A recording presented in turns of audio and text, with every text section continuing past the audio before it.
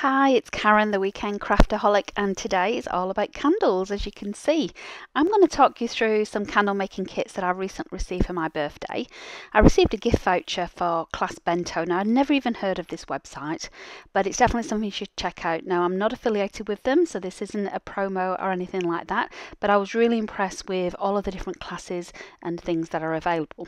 I was able to get two different kits with the gift voucher I had. I just put a little bit extra towards it. This was the first one one, Handmaker's Factory, and this was the cheaper of the two. So it was around about 40 Australian dollars, I think. And you can see here, I'm just scrolling through the page, and it gives you all the information about what you get in the kit. Now, some of them you do actually get video support as well, or there's classes where you've got one on one or pre recorded videos, whatever you want to do. I really just wanted kind of a kit arriving that I could work through myself. The second one that I got, you can see here, this was the bigger of the box. So this was twice as expensive. And you were able to order some add-ons as well. So you'll see when I'm doing the unboxing that you can actually just buy extras as well to go with your supply, which is what I did for this one. So really impressed with all of the classes on here. Check it out if you've not come across it. Don't think you need to be in Australia because some of them are just online as well. So definitely worth checking out if you're looking to try something new. And I have never really dabbled with candle making before. I've done the usual thing of melting down some candles that I've owned just to make it into a new one, but never from scratch. So let's get stuck into the video. I'm going to show you an unboxing of both of the kits and then I'm just going to show you some photos and a little bit of video as well during the candle making and then at the end you'll see my end result as well and that's where I'll give you a bit of a review of both of these boxes. Now I will say from the outset this video was taken two different portions of time. I received these when it was my birthday back in January, so it's, it's been a long time in the making. It's took about three months to get here, but I was super busy and I finally got a chance over a long weekend to actually play with these and enjoy them as well. So first of all, you can see here, this is the, the cheaper of the two boxes if we if we describe it as that. This is Handmaker's Factory. I love the box. I love the branding. When you look here, it really does feel like you're getting a gift in the mail with this particular particular kit. And this one came the quickest as well. This came within like two or three days, which was super surprising.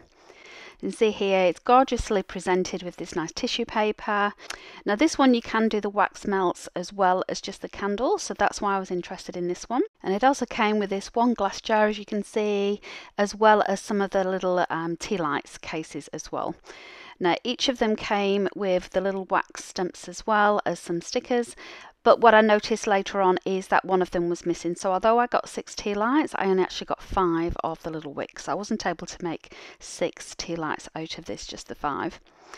Obviously came with the fragrance as well, and that was all nicely packaged up, and then a little warning sticker as well for the end of this jar. So it's definitely something you could then also give as a gift, I think, because you do have all that safety information presented with it. The little red love heart you can see, that's just the colouring as well, if you wanted to change the colours of your candles. And then you also got some stirrers, as well as this little booklet everything in that I needed, all the information I needed to use. It was a very quick read. So yeah, everything you need in the box, which is great. Moving on to the second box, this is a huge box. It's hard to see on camera actually, but it's quite quite deep as well. And this did take a bit longer, and I think it's probably why because of the size of the box. You can see everything again is included that you need. There's a few different colours in this one, a lot more of these safety stickers, as well as some of these little pads as well, and more than you need, you know, these little stirrers you can see in there as well as wicks, a lot more than you would normally need as well. So there was a lot of stuff left over that you could use in your own jars.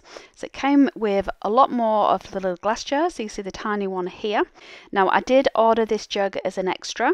I also got ordered some extra wicks because I have been saving up my glass jars the soy wax was huge. This was a kilo and absolutely went forever. In the fragrance as well. Look at the size of the fragrance bottle compared to the other one. And again, very well packaged. There was no spillages. Really impressed with with all of that. And the little jars you got too. Now, this is the one that actually then emailed all the instructions. There was heaps and heaps of information. Um, I did print it out. You'll see that towards the end. But I'm just moving now on to the pictures because as I started to make this in the kitchen over the stove, I thought it's going to be too difficult to do a video. So I did take some pictures as I went along. And you can see here, I ended up using my glass Pyrex jar because I realised pretty soon as I started to put the plastic jar into the hot water, it just kept, it, there was no weight to it, it just kept wobbling around, feel safe at all, so I just stuck with my glass jar. Now, if you've not done candle making before, it's super easy. You've got a pan of hot water, you put your jug in, you put your wax in, and just wait for that to melt. What I've added in here is the colouring as well as some of the fragrance. Now the smaller kit that I got, the first kit, I, I really did not like that fragrance at all so I didn't actually use it. Everything I used was out of the second bottle so I'm glad I got a bigger bottle with that. And you can see here just some pictures that I took whilst the wax was setting. So you can see here they provided you with everything you need to keep the wick in place, to keep it in the centre. I did make extra ones myself, as I'd mentioned, so you'll see a photo soon where I'm using my scissors and some tongs and all kinds of things just to keep that wick in the centre. But yeah, you can see here just as the wax is setting, just how that colour changes as well, which is great. So when I originally did this this greeny coloured one, I thought, oh man, that's that's going to look very strange. But it actually looks quite nice once it's added because it's more of kind of a creamy vanilla colour. This was one that I did just in a glass jar, so I've been keeping my glass jars, and of course that takes heaps and heaps of the soy wax, which is great because those candles will last a long time. And now this is the finished result. So this is what I want to show you. So the wax melts. I absolutely love the ability to do these. Didn't take a lot of wax uh, I do have a wax burner as well, so that's going to be great to use that. And then you can see this is the more substantial one.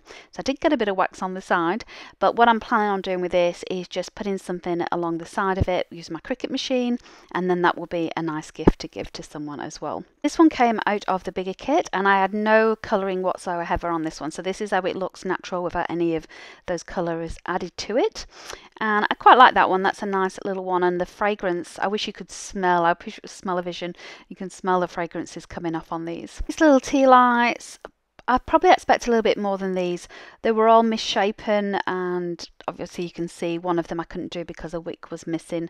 But I, you know, definitely not something as a gift, which, you know, I was kind of hoping you would be able to do because it doesn't use a lot of wax and I'm sure the little shells would be cheap enough to buy.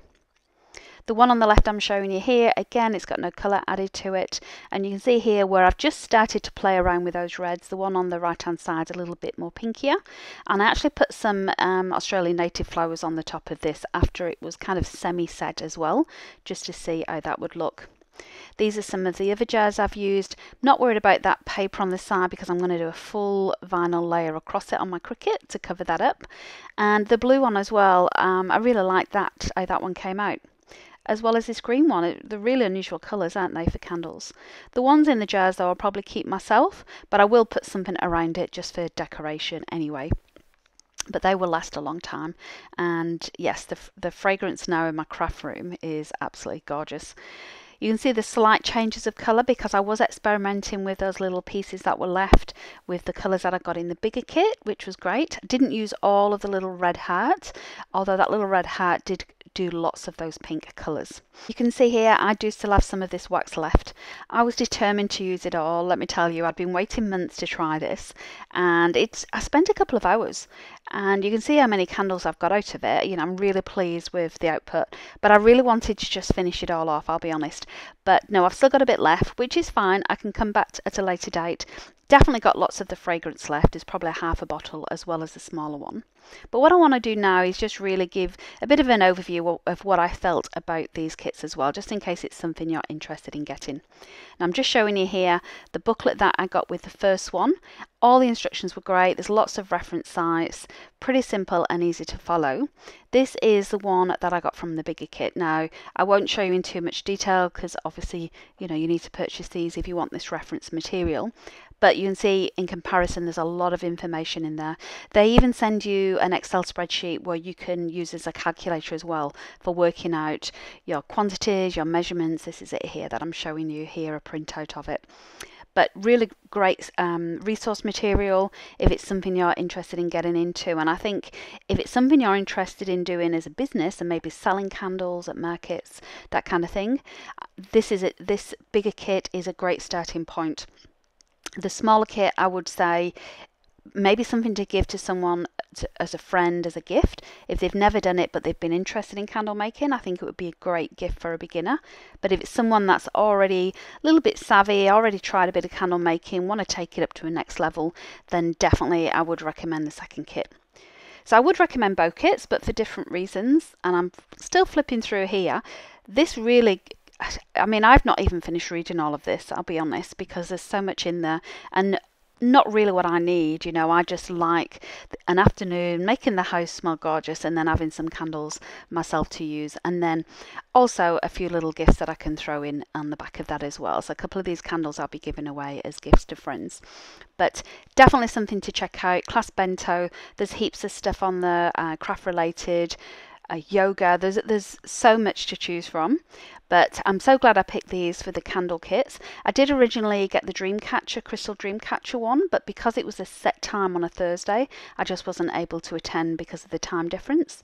And I'm just going to quickly show you as well the, what I have got left over. So I mentioned I've got about half a bottle of this left over. I really love this fragrance. I'll definitely be using that again. And buy more wax. You know, now that I've got these supplies, it's easy enough to do. Just keep my jam jars. Doesn't have to be anything too fancy, does it? And I mentioned the other fragrance which I've still got and these are the colours that I've got left as well. So I used all of the red and but I do have some of the red hat left as well which is fine and I'm pretty sure you can pick them up quite cheaply.